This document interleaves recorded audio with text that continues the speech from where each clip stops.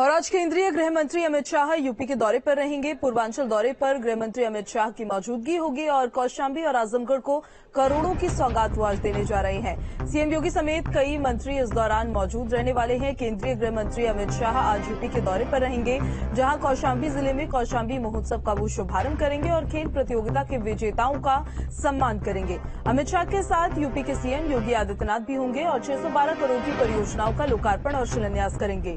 केंद्रीय गृह मंत्री इस मौके पर जनसभा को संबोधित करते हुए नज़र आएँगे।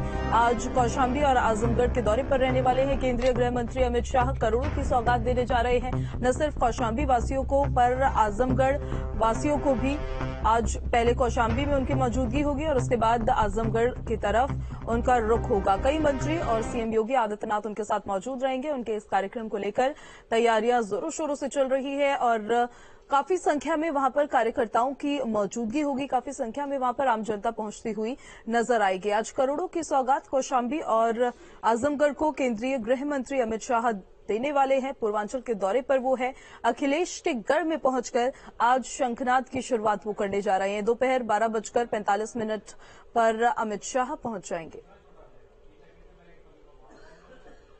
बीजेपी के चाणक्य कहे जाने वाले अमित शाह उत्तर प्रदेश के दौरे पर है। उत्तर प्रदेश में भी उन्होंने पूर्वांचल को चुना है। पूर्वांचल में कोशाम्बी और आजमगढ़ के दौरे पर जाएँगे। सबसे बड़ी बात है, कोशाम्बी जिस सीट पर अमित शाह सबसे पहले आ रहे हैं, वो सीट, सुरक्षित सीट मानी जाती है और ऐसे में दलित वोट को एक बड़ा मैसेज देने की कोशिश अमित शाह के द्वारा इस मंच से की जाएगी। फ़िलहाल आपको यहाँ की तैयारियाँ दिखाएँ। देखिए अमित शाह के आने को लेकर जो तमाम पुलिस के अधिकारी हैं, फ़िलहाल यहाँ पर बैठक करते हुए नज़र आ रहे हैं।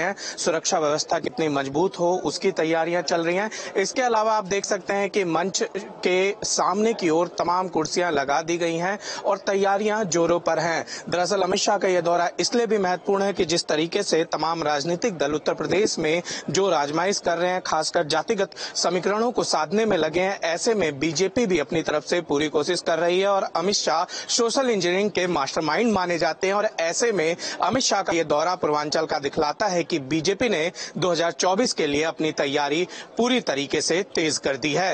वीडियो जर्नलिस्ट मुकेश कुमार के साथ निशांत राय, न्यूज़ स्टेट, कोसाम्बी। और इस खबर पर ज़्यादा जानकारी के साथ संवाददाता निशांत हमारे साथ लाइव कनेक्ट हो गए। निशांत, आपके पास आएँगे। किस तरह की तैयारियाँ हैं? क्या तस्वीर है अभी वहाँ पर?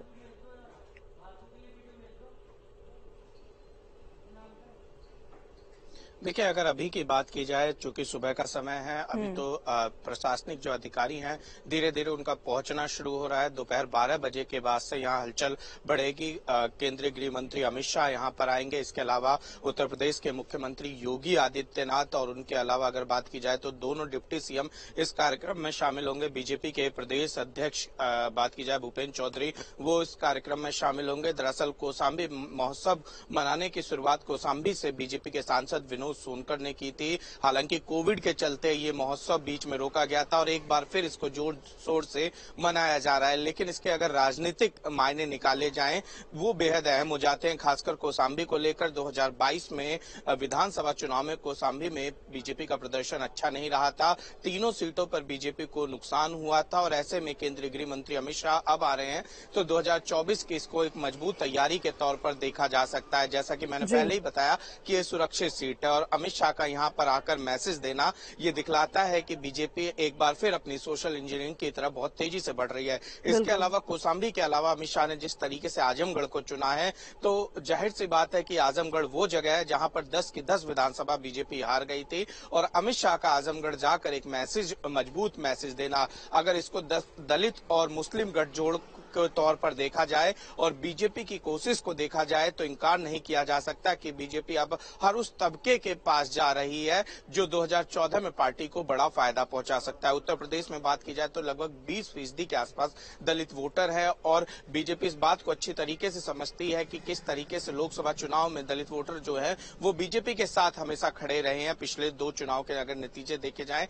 तो ऐसे में बीजेपी की पूरी कोशिश यही है कि किसी भी तरीके से एक बार फिर ये सारे जो वोट मज़बूत वोट बैंक है बीजेपी के साथ जुड़ा रहा है क्योंकि समाजवादी पार्टी ने जहाँ एक तरफ़ अपनी कमेटी बना दी है दलित वोटर्स को जोड़ने के लिए दूसरी तरफ़ अखिलेश यादव ने जिस तरीके से काशीराम जी की प्रतिमा का अनावरण किया है ये तमाम message Samajwadi party Bharatiya Janata party की तरफ़ से कि वो सेंधमारी करे तैयारियाँ जो है वोटर्स में। लेकिन जो आज कार्यक्रम होने जा रहे हैं निशांत उन कार्यक्रमों के बारे में कुछ बताइए जरा। कौन कौन से कार्यक्रम होंगे जिसमें केंद्रीय गृह मंत्री अमित शाह शामिल होते हुए नज़र आएँगे?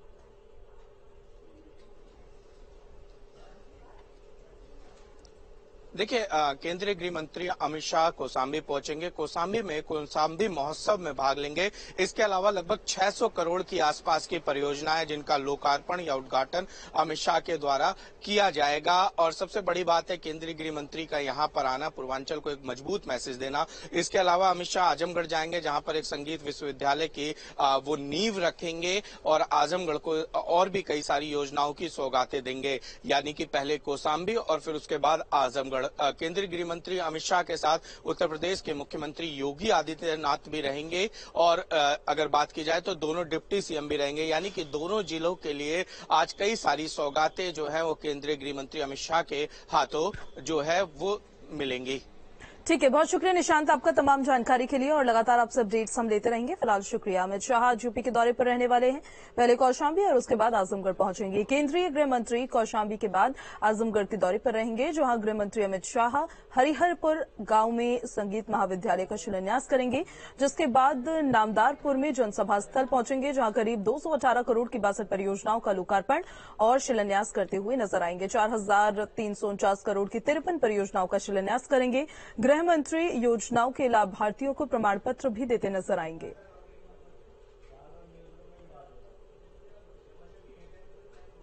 तो दोपहर 12 बजे बीएसएफ हेलीकॉप्टर से अमौसी एयरपोर्ट पहुँचेंगे और लखनऊ पहुँचेंगे दोपहर बारह बजकर पैंतीस मिनट पर शीतला धाम कौशाम्बी, हेलीपैड।